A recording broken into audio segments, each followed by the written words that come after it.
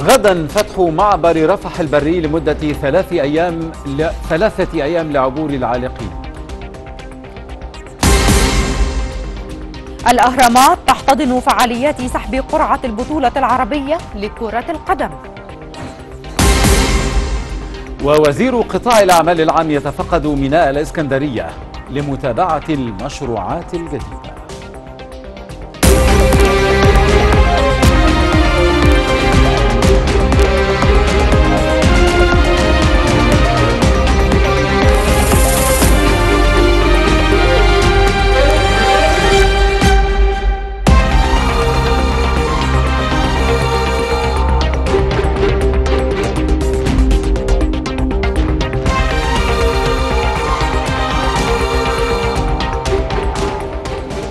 نشرة أخبار التاسعة مساء من أون لايف أهلا بحضراتكم وأهلا بك ترك أهلا بك نهى أهلا بكم مشاهدينا الكرام.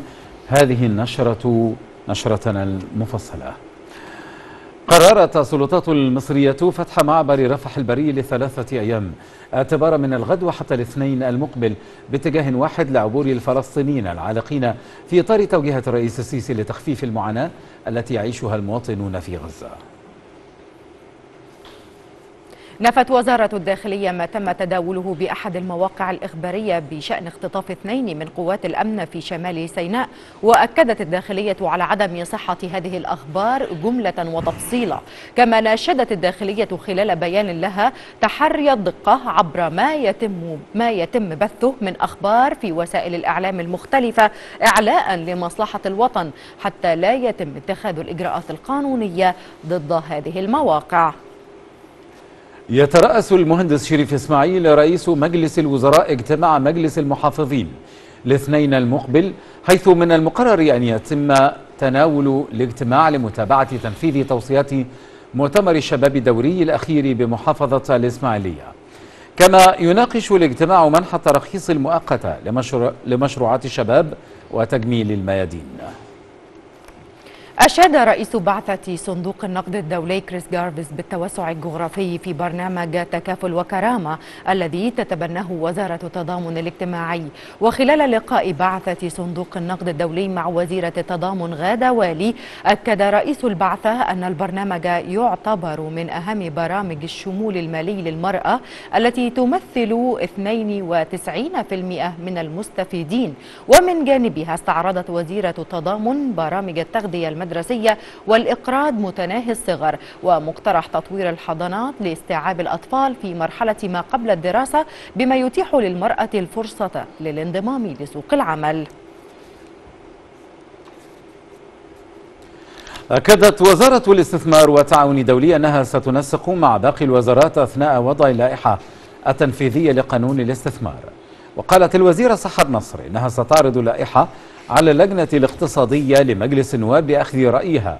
فيما يتعلق باللائحة موضحة أن الوزارة تضع في أولوياتها أن تتضمن جميع المواد التي تلبي احتياجات المستثمرين وتعمل على إزالة أي معوقات تواجههم. وأكدت الوزيرة أن الهدف من إنشاء مركز خدمة للمستثمرين في قانون الاستثمار الجديد هو القضاء على البيروقراطية.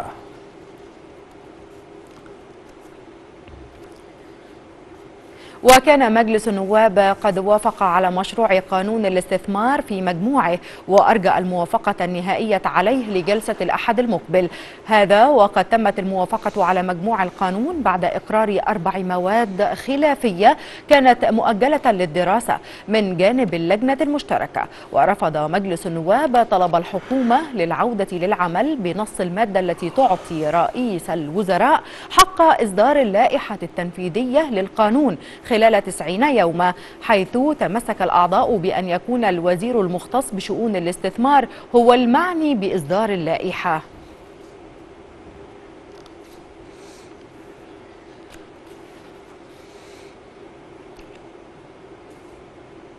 للمزيد من المتابعة ينضم إلينا عبر الهاتف النائب نبيل الجمل وكيل اللجنة التشريعية بمجلس النواب. أهلا بك معنا سيادة النائب. وبداية ما أهم ما يميز هذا القانون وأهم ما يؤخذ عليه من وجهة نظرك؟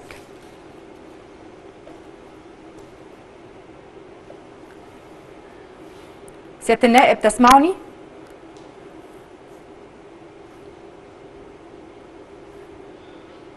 إذا انقطع الاتصال بسيادة النائب نبيل الجمل وكيل اللجنة التشريعية بمجلس النواب وسنحاول إتمام هذا الاتصال إذا أمكننا ذلك.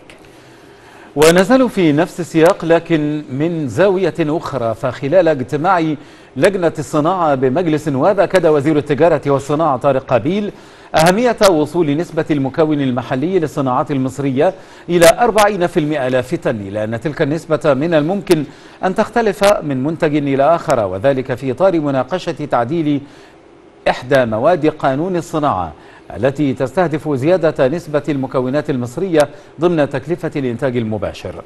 أوضح قابيل أن تفعيل المادة المعدلة تستبقه فترة تمهيدية حتى توافق الصناعات أوضاعها على أن يكون تعميق المكون المحلي هدف كل صانع بدلا من ترشيد الاستيراد. من جانبه قال النائب أحمد سمير رئيس لجنة الصناعة إن القانون يعتمد على مساهمة المصانع المصرية والمشروعات الصغيرة في ب 18.5% من الناتج المحلي. ذلك فضلا عن دعم تحول الصناعة التجميعية إلى المتكاملة لتوفير منتج محلي.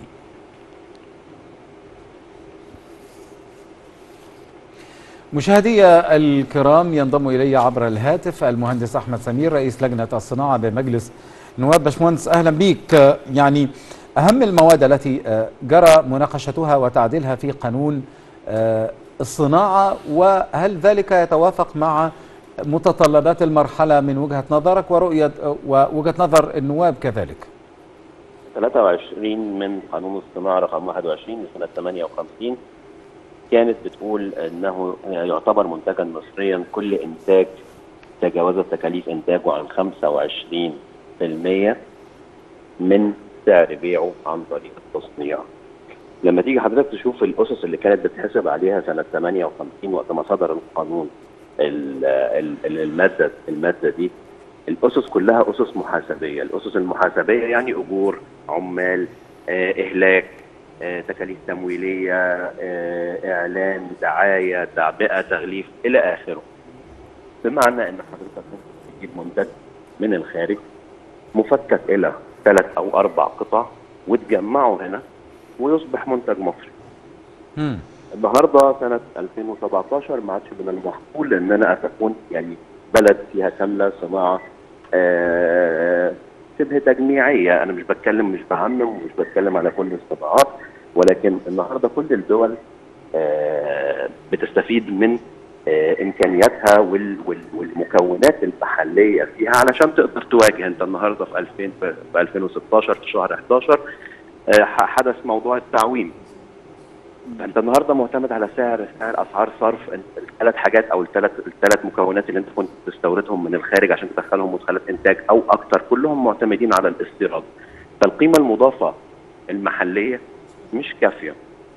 وده بيعتبر أحد أنواع التوسع الأفقي في آه الرأس يعني آسف في في الصناعة. إن أنا أعتمد على مكون محلي داخلي أقدر أساهم فيه بنسبة في الناتج القومي تتعدى 18 اللي إحنا بنستهدف فيها دلوقتي. أنا عايز أوصلها ل 25% من الناتج القومي. سيادة النائب أنا كل ما بقدر اتفضل باشمهندس أحمد خليني أيضا أسألك هل نحن مؤهلون ولا لا؟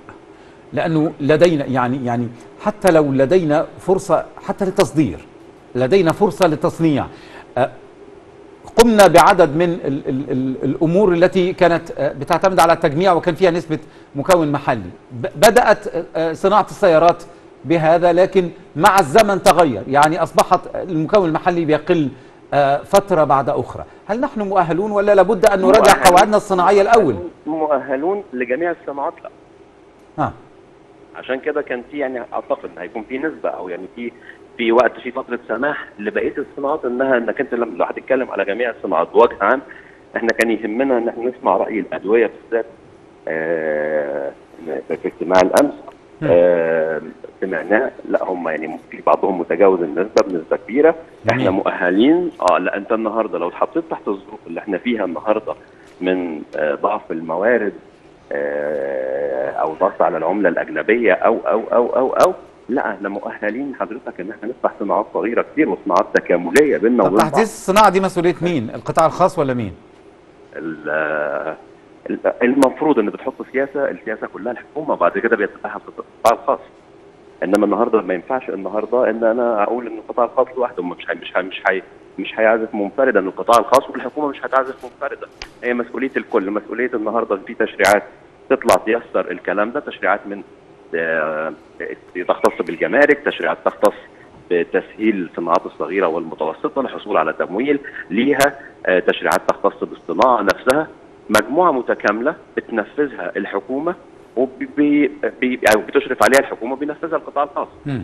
فمجموعة مجموعة من مجموعة عمل إحنا يكون عندنا رؤية يا فندم للمستقبل أنا النهارده بعد أربع خمس سنين مكاني فين؟ هقدر أنافس ولا لأ؟ ما أنا مش هينفع إن أنا يكون عندي آلة من الخارج وعندي مواد خام بجيبها من الخارج وأقول إن أنا هنافس الخارج.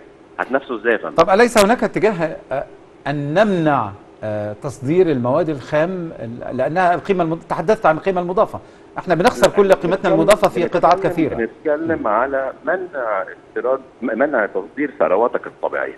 آه. يعني أنا مؤيد حضرتك تماما منع تصدير ثرواتنا الطبيعية للخارج. ثرواتنا التعدينية بالذات بدون قيمة مضافة. ما صدرش أنا خامة آه، موجودة عندي في في باطن الأرض بطلعها وبعد كده ترجع لي تاني. إضافة بسيطة وأنا ادفع أدفع 10 أضعاف الكلام. لا مم. ده بيكون كله عن طريق تكامل بين الوزارات امبارح يمكن قانون الاستثمار صدر وبيتكاملوا في موضوع الخريطة الاستثمارية. بيتقال النهارده إن المنطقة التعدينية دي فيها فرص واحد اثنين ثلاثة فيها كهرباء قد كده فيها عمل قد كده.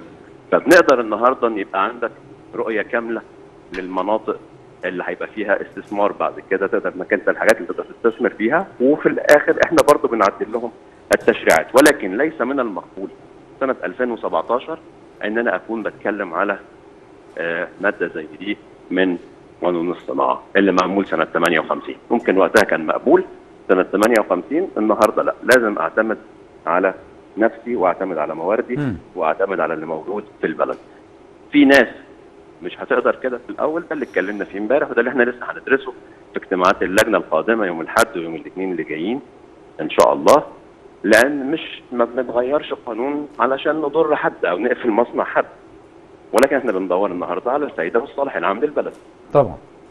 طيب أود أن أتطرق أيضا لمسألة تشجيع الصناعات المحلية. سواء من خلال الإعفاء أو زي ما عملنا في الاستثمار لكن هناك أيضا مصانع زي ما حضرتك قلت أغلقت بالمناسبة. وبالتالي علينا مرة أخرى أن ندعم صناعتنا الوطنية قبل أن نفكر في زيادة ال- المكون المحلي. ما هو هيجي منين؟ ما هو من الصناعة ال- ال- الوطنية. هل هناك إجراءات مزمعة لدعم صناعتنا الوطنية في مختلف القطاعات؟ بص أقول لحضرتك هو السؤال ده المفروض يتوجه للحكومة. يعني أنا النهارده بالنسبة لي لما بيبقى عندي مشاكل تشريعية بتضعف من موقف الصناعة أنا أنا أنا ب ب أيوه أنتوا بتراقبوا على الحكومة يا سيادة النائب يعني يعني أنا لسه هكمل لحضرتك. اتفضل. هكمل لحضرتك. ولكن المفروض النهارده ال ال لما بتبرز عندي مشكلة من المشاكل دي أنا بوجهها للحكومة وبقول لهم تعالى النهارده في ناس كان الأول كان أو كان يجب النهارده قبل ما حضرتك بتقول إن أنا أركز على اللي موجود وأرفع جودة الصناعة الأول. أرفع القدرة التنافسية لكل مصنع ما يبقاش إنك أنت بسهولة ممكن النهارده إن هو لو دخل سوق ما إنك أنت بكل سهولة تقدر تطلعه من السوق دوت بتنافس بسيط ما بينك وما بينه في جودة أو في سعر. فأنا كان لازم إن أنا أكون مجهزه للمنافسة الحقيقية، مجهزه الجوده، مجهزه الجوده آه، بمواصفات مجموع منظومة متكاملة آه، أنا مش هقول لك إنها مش موجودة. هي مم. موجودة وم- ومفعلة ولكن غير مفعلة بالقدر الكافي. تمام. شكرا جزيلا لك آه، سياده النائب آه، المهندس أحمد سمير رئيس لجنة الصناعة في مجلس النواب. تجرى بسفح الأهرامات فعاليات سحب قرعة البطولة العربية لكرة القدم برعاية رئيس الاتحاد العربي لكرة القدم الأمير تركي بن خالد وبحضور عدد من رؤساء الأندية الاثنتي عشر المشاركة في هذه البطولة. إذا مشاهدينا للمزيد من التفاصيل معنا مراسلة أون لايف من سفح الأهرامات جيرمين إبراهيم. أهلا بك جيرمين. ويعني الصورة والمشهد بالتأكيد فيه الكثير من التفاصيل في هذا الحدث الكروي المهم. أطلعينا على ما لديك من معلومات ومجريات للأمور لديك. نتابع معكم من تحت من تحت سفح الأهرامات الحفل والقرعة التي بدأت منذ قليل الخاصة بسحب قرعة البطولة العربية. هذه البطولة التي تجرى في مصر في الثاني والعشرين من يوليو حتى الخامس من أغسطس القادم. ما بين الاستعدادات الخاصة بمدينة الإسكندرية والقاهرة بتقام بعد عودة مرة أخرى بعد انقطاع لمدة خمس سنوات. تقام مرة أخرى في مصر. هذه البطولة اللي بيشارك فيها 12 نادي ممثلين لدول عربية وبالطبع مصر بيشارك من مصر نادي الأهلي والزمالك ومن الأندية المختلفة أو الدول المختلفة نادي النصر السعودي وأيضا نادي الهلال السعودي. هذه الأندية اللي بتشارك في هذه القرعة التي ستسحب لتقوم بتقسيمهم لثلاث مجموعات. كل مجموعة سيتأهل منها صاحب المركز الأول وأفضل ثاني ثم سيقومون بلعب مباريات للتاهل للمباراة النهائية نصف النهائية في البداية والنهائية التي ستقام في السادس من أغسطس. الحقيقة كان هناك حضور واسع لممثلين الأندية المختلفة العربية بالإضافة للمهندس خالد عبد العزيز وزير الشباب والرياضة وأيضا رئيس الاتحاد الأفريقي والعربي. يعني أيضا من المنتظر هذه البطولة أن تقام بحضور جماهيري بعد مدة انقطاع الجماهير عن حضور الملاعب. يجدها الجميع فرصة لعودة الجماهير مرة أخرى وأيضا لوجود منافسة وتقريب واقتراب بين العلاقات والدول العربية المختلفه الحقيقة هناك أيضا يعني في هذا الحفل عدد من الاستعراضات التي ستقدم لفرق عربية. ثم ستأتي سحب القرعة التي ستقام بعد قليل يعني بعد بداية الحفل منذ لحظات. أعود إليك مرة أخرى في الاستوديو. نعم أشكرك شكرا جزيلا. ونتابع معك على ON Sport على الهواء مباشرة يعني فعاليات هذا الحدث الكروي. وبالتفاصيل هنا في ON Live نتابع بالتأكيد يعني أجزاء حتى من هذا الحفل المتعلق بسحب قرعة البطولة العربية لكرة القدم في سفح الأهرامات برعاية رئيس الاتحاد العربي لكرة القدم الأمير تركي بن خالد وبحضور عدد من رؤساء الأندية المشاركة في هذه البطولة. لحظة بلحظة نتابع على شاشة أون لايف جزء جزءا من هذه الفعالية من الأهرامات. دما يعني لو نتكلم عن الآمال والطموحات الإيجابية أكيد المعقودة على هذه البطولة لربما لن ننتهي من الكلام سيف. أعتقد كمان الاتحاد العربي بيوجه رسائل كثيرة كروية سياسية مش بس للدول العربية للدول الأفريقية لتغيير الخريطة. أعتقد ان هو event كبير وحدث عظيم جدا. صحيح عودته بعد انقطاع خمس سنوات. أكيد سيكون شيء جميل الكل سيستمتع به. لن نطيل الحديث عليكم. دعوني أرحب بالمهندس هاني أبو ريدة رئيس الاتحاد المصري لكرة القدم المستضيف لهذه البطولة لإلقاء كلمته بهذه المناسبة. فليتفضل مشكورا.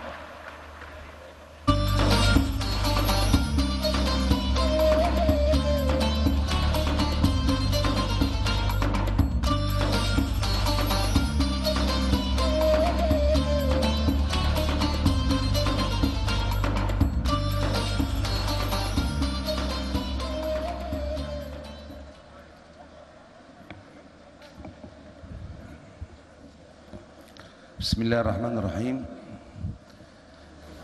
الأخ الفاضل معالي وزير الشباب المهندس خالد عبد العزيز صاحب السمو الأمير تركي بن خالد بن فيصل آل سعود رئيس الاتحاد العربي لكرة القدم السيد الصديق السيد أحمد رئيس الاتحاد الإفريقي لكرة القدم أصحاب السعادة أعضاء المكتب التنفيذي للاتحاد العربي لكرة القدم أصحاب السعادة أعضاء المكتب التنفيذي للاتحاد الإفريقي لكرة القدم ورؤساء الاتحادات الإفريقية لكرة القدم السادة رؤساء الاتحادات الآسيوية السادة رؤساء الأندية المحترمين السيدات والسادة ضيوف مصر الكرام. سفح أهرامات مصر الشامخة عبر التاريخ أرحب بكم في بلدكم الثاني مصر حاضنة الحضارات عبر الأزمان وقلب العروبة النابض كما يشهد التاريخ. أرحب بكم جميعا وأحييكم تحية عربية أصيلة يعبر عنها دائما شعب مصر بكل الود والمحبة وقد استقر في العروبة هي امت- هي امتداده التاريخي وبعده الاستراتيجي وهو ما يؤكد عليه دوما السيد الرئيس عبد الفتاح السيسي رئيس الجمهورية بكل إصرار وجلد وعزيمة. صاحب السمو أصحاب السعادة السيدات والسادة نلتقي اليوم في موعد مع التاريخ. نكتب فيه بمداد الأخوة والمحبة سطرا جديدا في صفحة البطولات العربية. ونبتغي من ورائه رسم البهجة على وجوه أطفالنا حاملين رسالتنا إليهم أن العروبة هي البسمة على الوجوه وهي الأمل في العيون وهي عبارات الحب على كل شفاه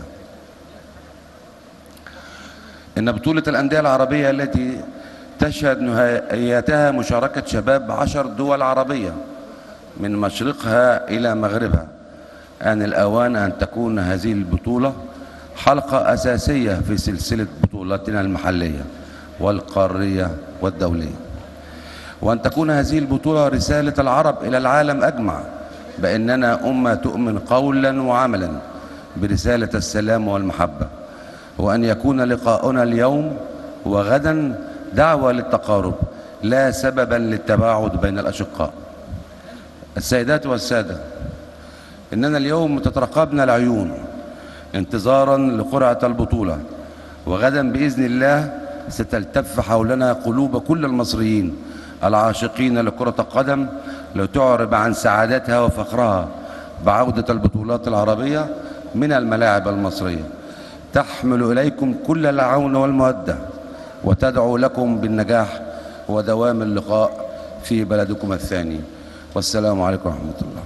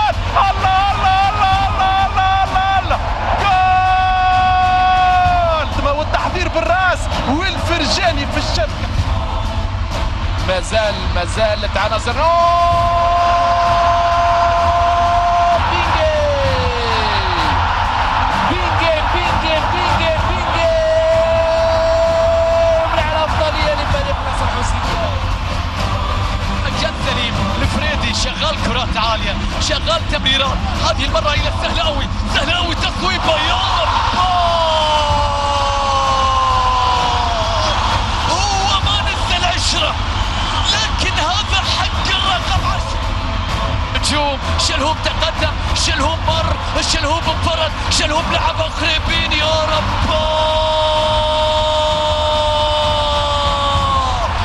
خريبين مسعود دربين يوسف آدم يبدو غير راضي بكري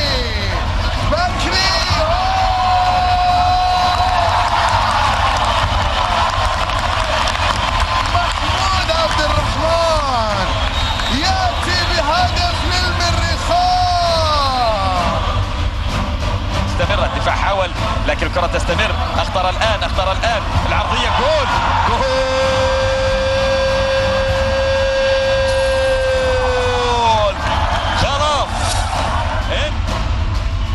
شق الطريق هنا وصلت من وسط الملعب لمصلحة نادي العهد اللبناني. هنا محاولة مستمرة والتصويب. الله الله الله.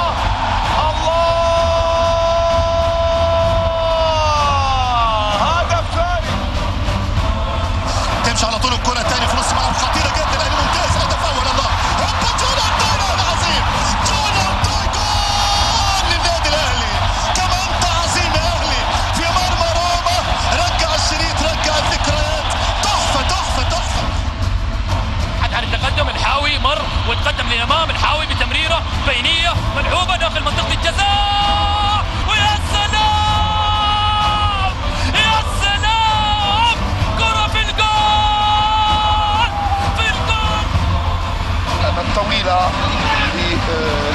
الفريق الليبي ولكن كان محاولة جيدة ممتاز. ممتاز. فريق الفتح الذي يسجل الهدف في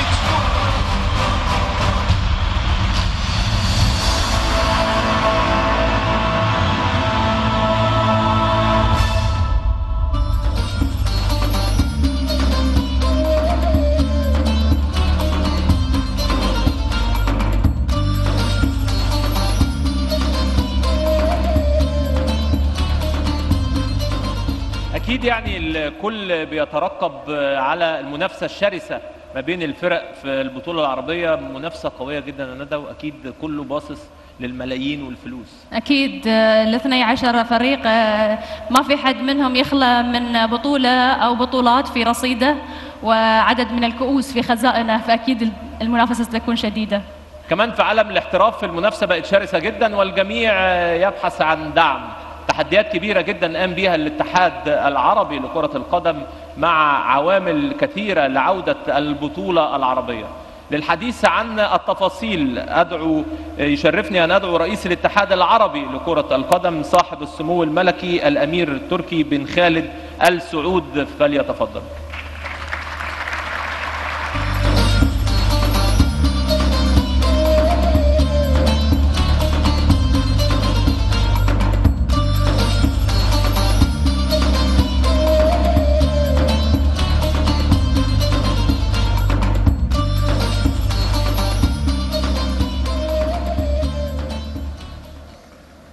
الله الرحمن الرحيم.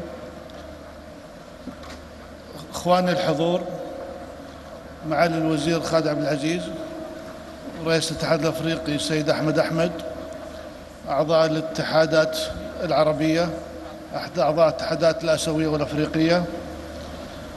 بالنيابة عن زملائي أعضاء الاتحاد العربي نشكر قدومكم وتشريفكم حفل القرعة. قرعة بطولة البطولة العربية التي تعلن عودة البطولات العربية بإذن الله من خلال دولة مصر قلب العالم العربي.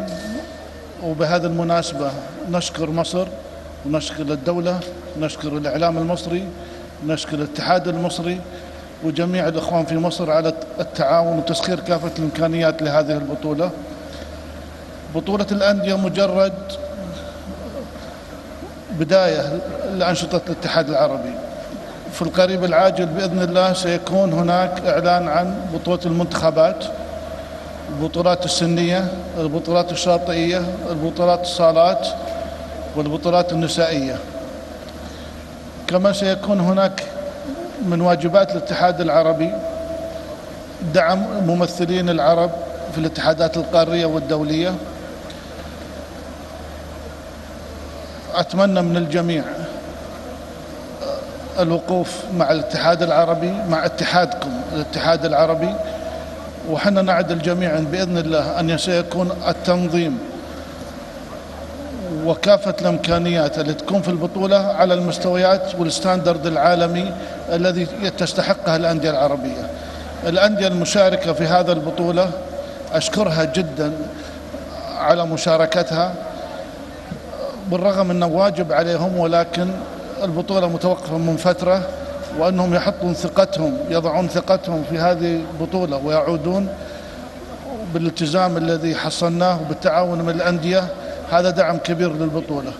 إحنا كشركاء مع الأندية ومع الاتحادات المحلية ومع ومع الدول المنظمة نعدكم بإذن الله تنظيم على مستوى يليق بكم. وأتمنى من الجميع المساهمة بنجاح هذه البطولة. وشكرا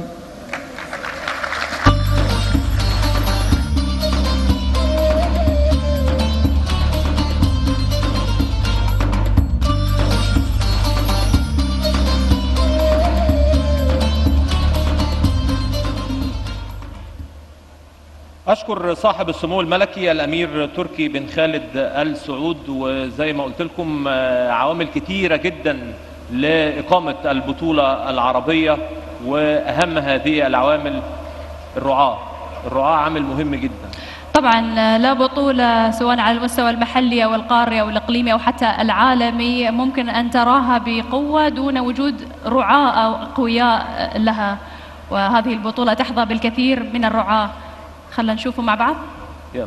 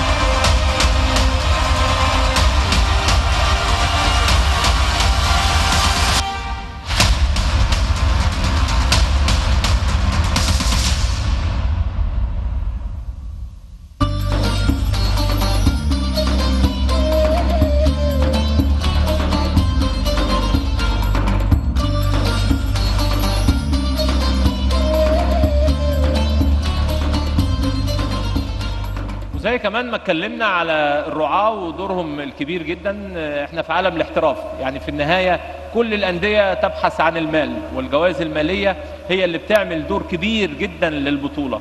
بس الكاس كمان ليه دور كبير. نعم بجانب الجوائز المادية الكبيرة لهذه البطولة هناك كأس صممت خصيصا للبطولة وتم تصميمها وتنفيذها من قبل دار من أرقى دور آه، التصميم في العالم أسبري لندن ومن سيحفر بهذه الكأس آه، سيف سيحصل على تحفة فنية في خزائنه.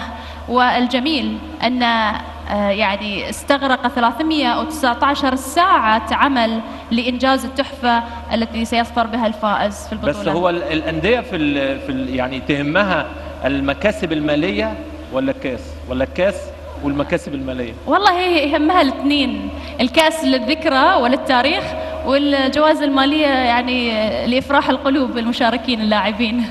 أعتقد كمان يعني إيفنت قوي زي البطولة العربية. أعتقد جوائز مالية ضخمة جدا وأعتقد إن تنظيم أكثر من رائع. نقل بس مختلف بشكل كبير ولازم كمان يكون الكاس مختلف. أكيد. طبعا دعونا نشوف تفاصيل أكثر عن هذه الكأس المميزة في الفيديو القادم.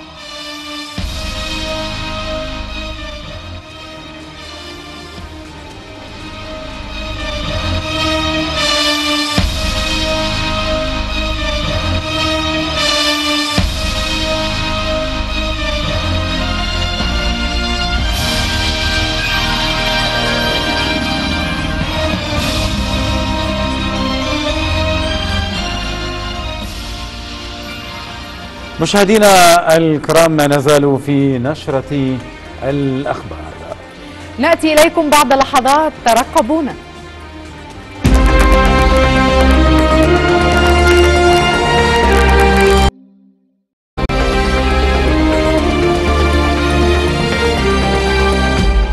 أهلا بحضراتكم من جديد. ودائما أهلا بكم. أكد وزير البترول والثروة المعدنية المهندس طارق الملا أهمية مراجعة إجراءات وتعليمات السلامة والصحة المهنية وحماية البيئة في جميع أنشطة ومراحل صناعة البترول. وخلال اجتماعه مع رؤساء شركات شركات الحفر والإنتاج العاملة في مصر شدد الملا على ضرورة تطبيق التقنيات والأساليب العلمية الحديثة وذلك من منطلق المسؤولية الكاملة عن سلامة العاملين وتأمين ظروف التشغيل الآمن للمعدات والمنشآت. وأشار إلى أن قضية السلامة إلزامية كما طالب الوزير بضرورة عقد اجتماعات دورية على مستوى جميع شركات البترول لتبادل الخبرات الفنية والتكنولوجية لتأمين الكوادر البشرية والأصول الإنتاجية. استقبل شريف فتحي وزير الطيران المدني الرئيس التنفيذي الجديد لتحالف ستار العالمي جيفري جو. تبادل الجانبان الرؤى حول مستجدات صناعة النقل الجوي حول العالم. حضر اللقاء رئيس القابضة لمصر للطيران صفوت مسلم الذي اصطحب رئيس تحالف ستار في زيارة لشركة مصر للطيران خلال جولته في مصر. قام وزير قطاع الأعمال العام أشرف شرقاوي بجولة تفقدية في ميناء الإسكندرية. لمتابعة سير العمل خلال أعمال تطوير المشروعات الجديدة بشركتي الإسكندرية لتداول الحاويات والبضائع والمعمورة للإسكان والتعمير. وتفقد الوزير مشتريات جديدة لميناء الإسكندرية بقيمة 300 مليون جنيه كما تم وضع حجر الأساس لمشروع سكني يضم 170 وحدة سكنية وتطوير منطقة المعمورة وبواباتها الإلكترونية.